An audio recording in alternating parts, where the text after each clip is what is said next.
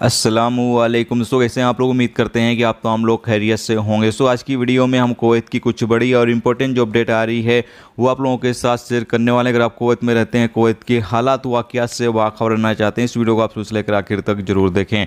सबसे पहली खबर आप लोगों के साथ शेयर कर दें कि कोवैत में तीन लोगों को जो है वो गिरफ़्तार किया गया है, जिसमें से दो पाकिस्तानी और एक नेपाली बंदा जो है वो शामिल है। अपडेट के मुताबिक बताया गया है कि ये तमाम लोग ड्रग्स जो है वो बेच रहे थे, एक को जलेब से, एक को मंगफ से और एक को जो है जहरा के इलाके से गिरफ़्तार किया गया है।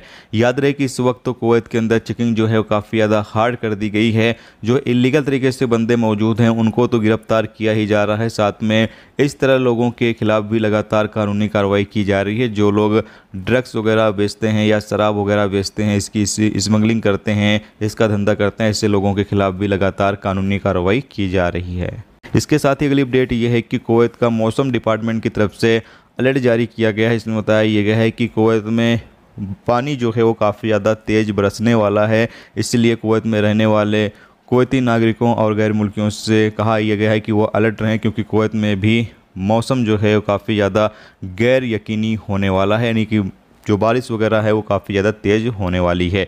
आपकी जानकारी के लिए बता दें कि यूएई में काफ़ी तेज़ बारिश हुई है, जिससे कि यूएई के शहर शारजा वगैरह में काफ़ी ज़्यादा इलाकों में पानी भर गया। और बताया गया है कि यूएई में तकरीबन आठ से आठ सौ सत्तर लोग जो कि पानी में फंसे हुए थे, उनको भी बचाया गया है। इसके साथ ही ओमान में भी काफ़ी ज़्यादा बारिश हो रही है। ओमान में भी कई लोग जो है वो पानी में बह भी गए हैं, ऐसी भी रिपोर्टें आ रही हैं। तो आप लोग भी कुवैत के अंदर हैं तो अलर्ट रहें, क्योंकि कुवैत के अंदर भी पानी काफ़ी ज़्यादा बरसने की भविष्यवाणी जो है वो की जा रही है। इसके साथ ही अगली अपडेट ये है कि एक चीनी रॉकेट जो कि अंतरिक्ष में जाने के बाद वो कंट्रोल से बाहर हो गया है। अपडेट के मुताबिक बताया गया है कि ये आने वाले नेक्स्ट वीक में जो है गिरने वाला है, यानी कि नेक्स्ट संडे संडे तक ये आकर ज़मीन पर गिरेगा और उम्मीद के मुताबिक बताया ये जा रहा है, यानी कि जो भविष्यवाणी की गई है, उसमें बताया ये गया है कि ये अरब देशों पर गिरेगा। अब किस अरब देश पर गिरेगा, यहाँ पर इस बारे में कोई भी जानकारी जो है वो नहीं दी गई। सके आप सामने स्क्रीन पर जो रिपोर्ट है वो देख सकते हैं। इसके साथ ही अगली अपडेट ये है कि कोवैत मिनिस्ट्री ऑफ़ इंटीरियर के लिए काम करने वाले एक अधिकारी को गिरफ़्तार किया गया है, जिसने एक जॉर्डन के शहरी के ऊपर हमला किया और उसके हाथ पर, चाकू से हमला किया, उसके हाथ पर गहरी चोट आई, जिसके बाद वो जाकर पुलिस स्टेशन में शिकायत दर्ज कराया और जिसके बाद पुलिस ने इस अधिकारी को जो है वो गिरफ़्तार कर लिया है।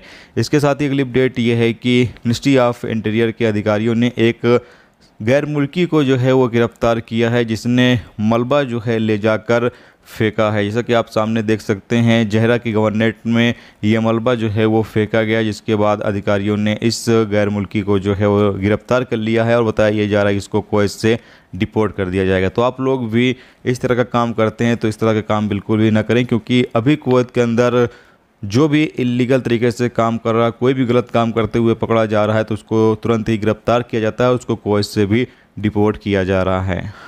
तो ये दोस्तों, आज की कुवैत की कुछ ज़रूरी खबरें जो आप लोगों के साथ शेयर की गई तो उम्मीद करता हूँ ये वीडियो, ये जानकारी आपको अच्छी लगी हो। अच्छी लगी है तो प्लीज़ वीडियो को लाइक और शेयर ज़रूर कर दें। चैनल पर नए हों, चैनल को सब्सक्राइब कर लें, क्योंकि यहाँ पर आपको कुवैत के हवाले से जो भी ताज़ा तरीन अपडेट ताज़ा तरीन जानकारी होगी, वो देखने को मिलती रहेगी। वीडियो देखने का दोस्तों बहुत बहुत शुक्रिया। अल्लाह हाफिज़।